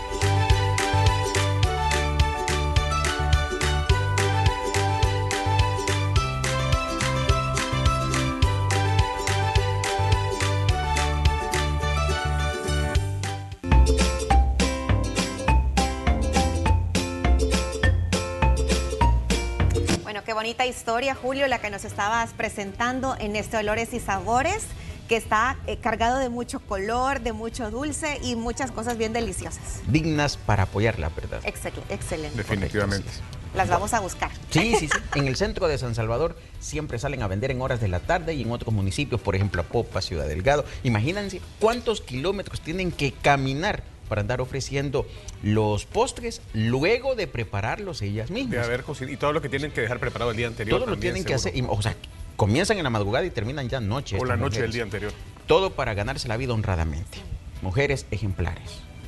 Bueno, muchas gracias Julio por presentarnos esta historia y nosotros queremos informarles sobre esta gran actividad que estará desarrollando la Escuela de Comunicaciones RSM, que te invita al taller intensivo Herramientas de Alto Impacto para la Interpretación de la Voz con Isa Junca, locutora y actriz de doblaje y además fundadora del Festival Iberoamericano de la Voz, Viva Voz, que nos estará visitando desde Colombia. Este taller va a tener pues la oportunidad de conocer técnicas para voice acting, neutralización de acento, además tendrás prácticas de locución y mucho más. Así que les esperamos el próximo sábado 23 de julio. Importante, para más información pueden comunicarse al 2560 1211 o también escribir al WhatsApp 76 97 12 58. Reserva ya tu espacio, pues los cupos son limitados.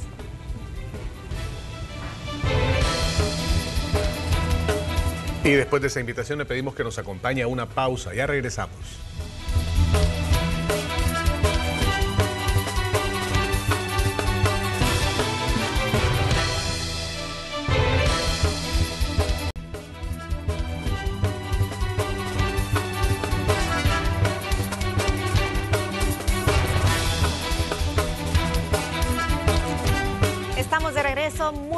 Gracias por informarse con Hechos AM. Ya son las 7 de la mañana con 39 minutos.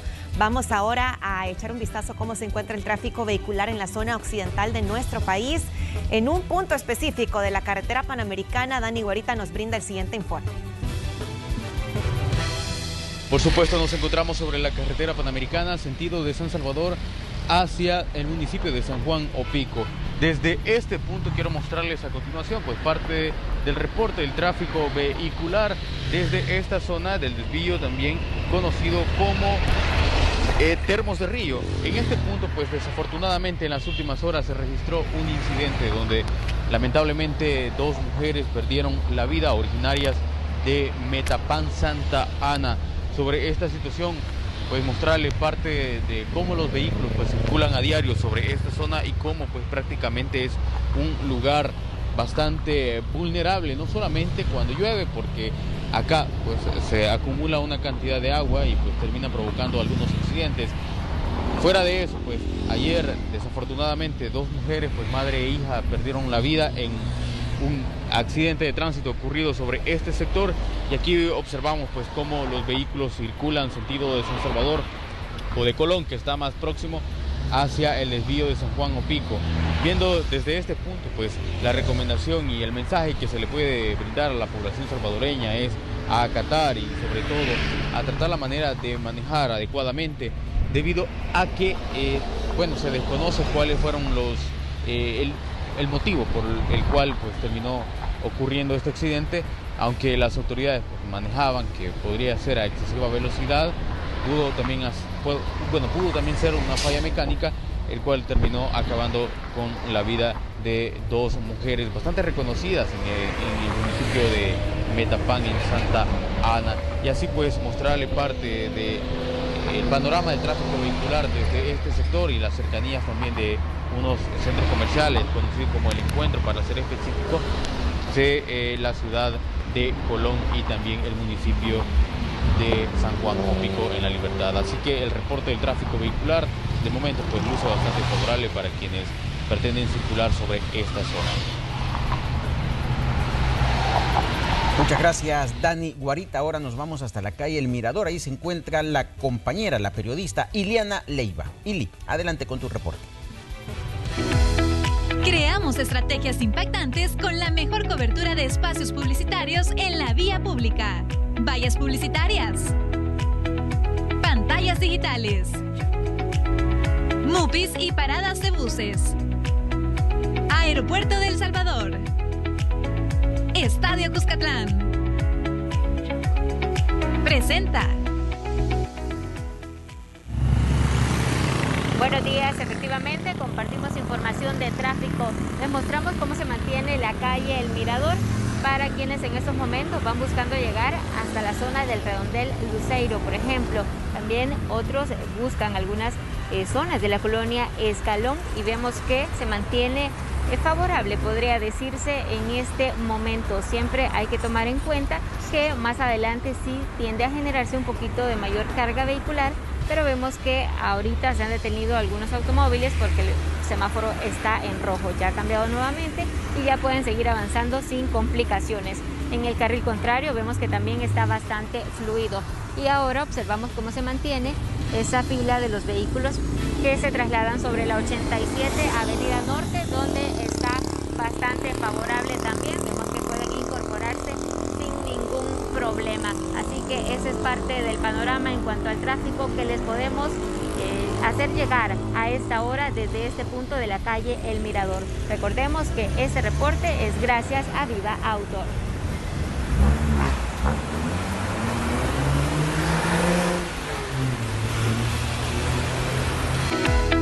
Creamos estrategias impactantes con la mejor cobertura de espacios publicitarios en la vía pública.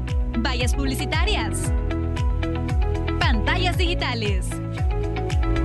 MUPIs y paradas de buses. Aeropuerto del Salvador. Estadio Cuscatlán. Presentó. Bien, tenemos más con uno de nuestros equipos hasta la zona de la Troncal del Norte, un lugar a donde constantemente se dan accidentes de tránsito. Está Aldair Tadeo. Adelante, Aldair.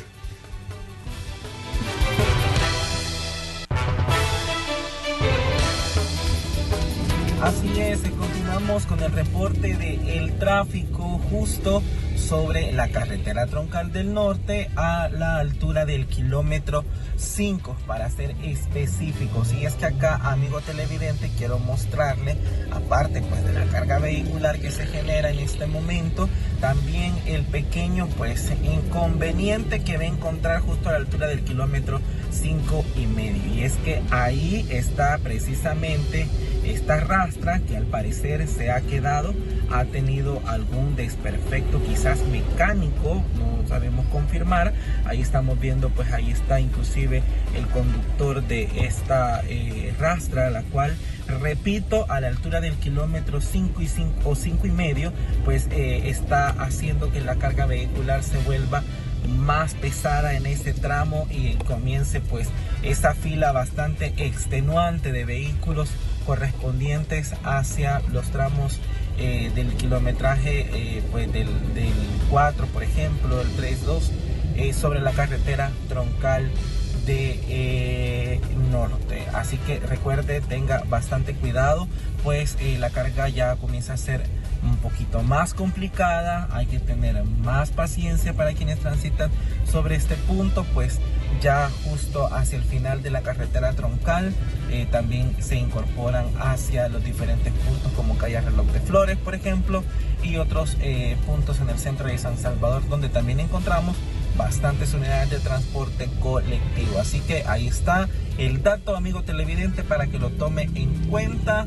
No hay conos en el, en el lugar, lo que pues también hace que los conductores hagan ciertas maniobras para poder evitar la rastra que le mostraba hace unos minutos atrás. Con esto regreso con ustedes, compañeros, en los estudios. Adelante. Muchas gracias, Aldair. Ahora te invitamos a descubrir la innovación con los nuevos lubricantes Repsol. Reinventamos nuestros lubricantes probados en altas competiciones que cuentan con tecnología y aditivos de última generación. Encuéntralos en Diparvel, El Salvador, importador autorizado.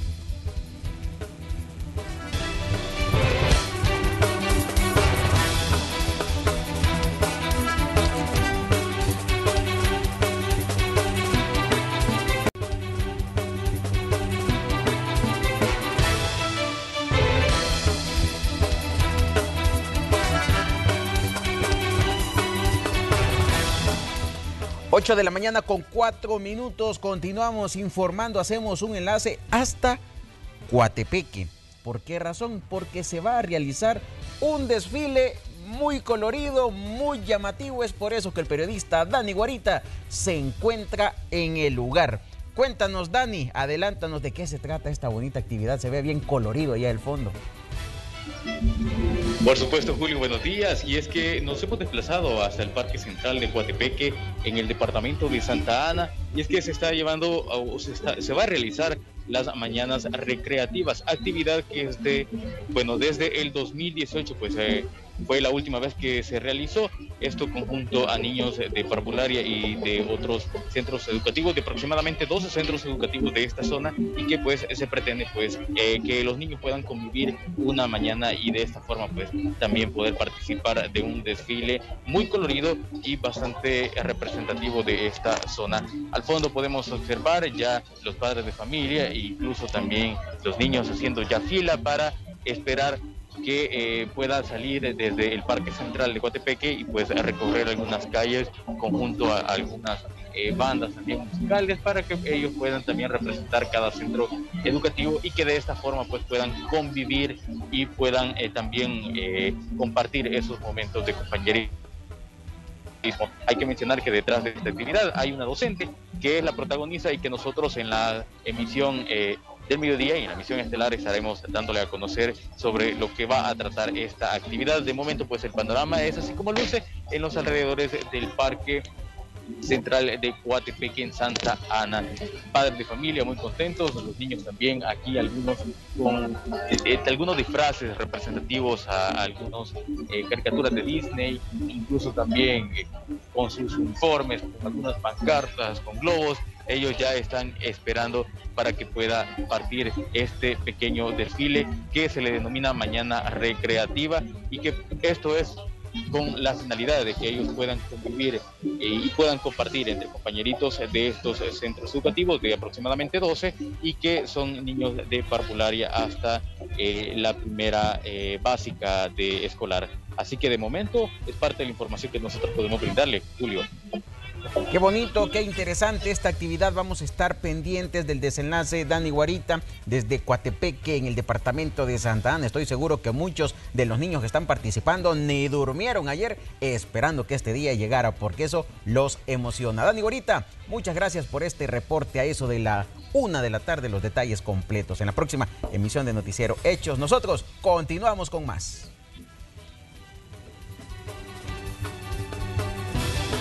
Se deje engañar. Comprar imitaciones sale caro. ¿Cuánto cuesta desinstalar su techo oxidado? ¿Cuánto cuesta comprarlo de nuevo?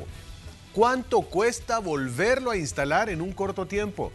Cuidado que ni regalado es más barato. Construya con la original, sin Calum, el mejor techo de El Salvador. Busque la marca en cada lámina y obtenga máxima calidad al mejor precio solo en Galvaniza. Ya son las 8 de la mañana con 8 minutos. Vamos de inmediato con el reporte de Iliana Leiva desde un importante lugar de San Salvador. Adelante.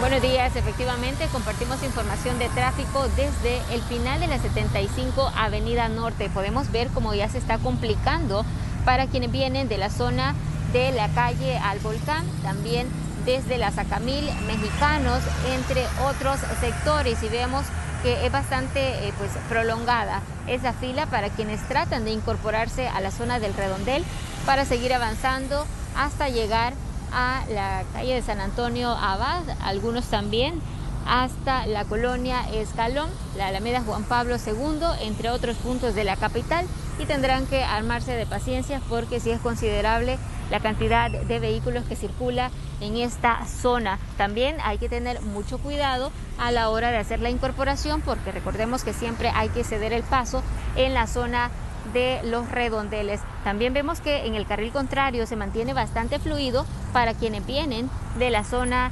de, eh, puede ser también este punto de la Alameda Juan Pablo II, San Antonio Abad y están trasladándose buscando la colonia Sacamil. Vemos que ahí sí está fluido, no hay ningún tipo de inconveniente, únicamente es en este carril donde se mantiene la mayor carga vehicular. Así que con estas imágenes regresamos con ustedes.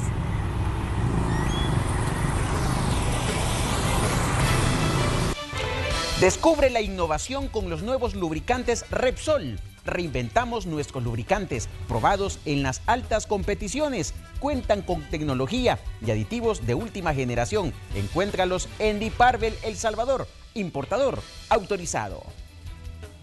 Gracias, Julio, por el consejo. Ahora vamos con nuestro compañero Aldair Tadeo. Adelante, Aldair, contanos dónde te encontrás.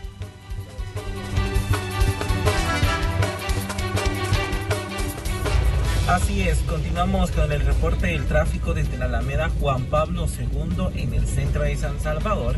Te muestro cómo está a esta hora de la mañana la carga vehicular que por supuesto también quiero mostrarle que se encuentra a esta hora precisamente esos conos ahí porque se están realizando algunos trabajos para quienes se incorporan sobre eh, este tramo hacia la altura del parque infantil como le conocemos en esta zona pues eh, al menos para quienes ocupan esa arteria para incorporarse hacia la Alameda Juan Pablo II, pues está totalmente bloqueada por el momento debido a algunos trabajos que se realizan ahí eh, en esa zona. Bien, volvamos a la carga vehicular, como estábamos hablando, que se genera en este momento sobre la Alameda Juan Pablo II. Y para que usted tenga un punto de referencia, amigo televidente, quienes se incorporan hacia el centro de gobierno, por ejemplo, también otro de los puntos de referencia en los que se conoce acá en San Salvador.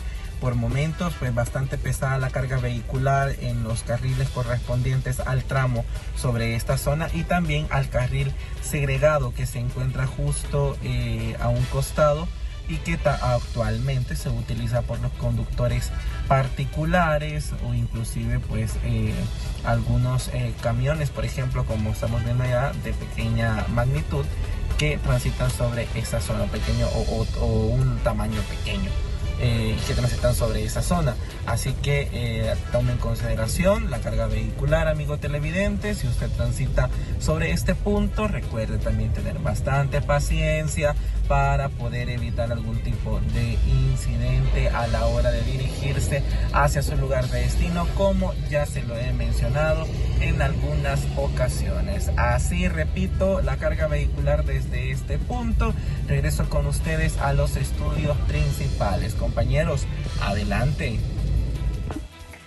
¿Sientes dificultad de movimiento? Sana y fortalece tus articulaciones con el nuevo Osteobiflex Complex con glucosamina, condroitina y ahora con colágeno, MSM y ácido hialurónico. Triple fuerza con Osteobiflex Complex, reparación, lubricación y elasticidad. Osteobiflex Complex, Osteobiflex original y el gel que contiene aceites esenciales aromáticos. Osteobiflex es libertad de movimiento. Calidad, laboratorios suizos. Bueno, es momento de presentarles una de las caricaturas de Oscar Sandoval, creador de webcómic salvadoreño. Veamos en esta ocasión ¿Qué es lo que nos dice? Mire que todos los viernes nos hace reír. A ver, necesito una referencia, aquí está. De los creadores de Necesito pasar justo por donde acabas de trapear, llega, tengo que hacer pipí justo cuando estás lavando el baño. ¿A cuántos nos ha pasado eso? ¿Les ha pasado, compañeros? Honestamente, em, no, pero he de destacar que lo que más me llama la atención y que reconozco y que considero que es muy positivo es que Oscar ha dejado y ha permitido también em, destacar, Julio, la, labor del, hombre en las cosas del hogar. Y qué bien, porque así debe ser. Esas cosas no solo se le asignan al género femenino, los hombres también asumen eso en casa y deben ser funcionales. Y qué bien que lo está ejemplificando, porque muchas de estas cosas que Oscar comparte, las comparte desde su experiencia. Sí, correcto, así es. Y recordemos que son tareas del hogar que no solamente tienen que estar enfocadas en que las va a hacer la, la persona, la mujer, el hombre, así que es parejo, ¿verdad? O solamente la persona que trabaja en la casa, no. Son actividades que se tienen que hacer es que al final es algo que lo utilizamos todos, entonces, y es ¿por qué una solo uno? responsabilidad compartida y que usualmente, de, pues de forma culturalmente hablando, pues sí. usualmente son labores que asumimos las mujeres en casa.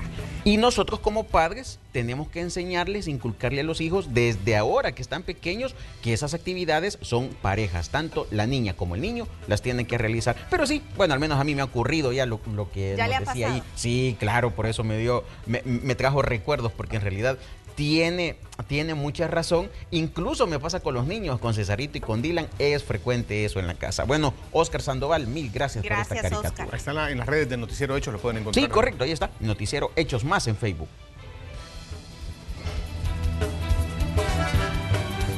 8 con 15. Ya hacemos una pausa, regresamos con más.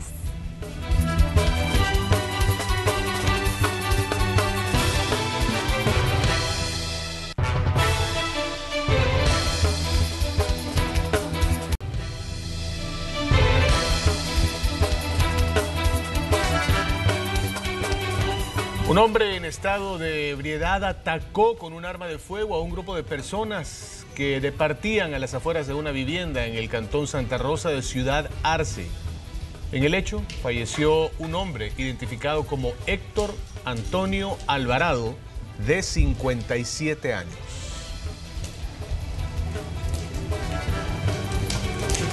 El ministro de Salud, Francisco Alaví, se refirió al incremento de casos de COVID-19. Dice que ya se enviaron las muestras para determinar a qué variante se debe el alza. Por las características de facilidad de transmisión, están observando la subvariante BA 2.75. Según Alaví, hasta la fecha se han aplicado 11 millones de dosis de la vacuna anti-COVID-19.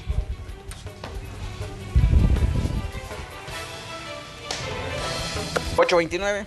Se nos terminó el tiempo. Muchísimas gracias por habernos acompañado. Les deseamos un excelente fin de semana. Bendiciones, nos vemos el lunes, primero Dios.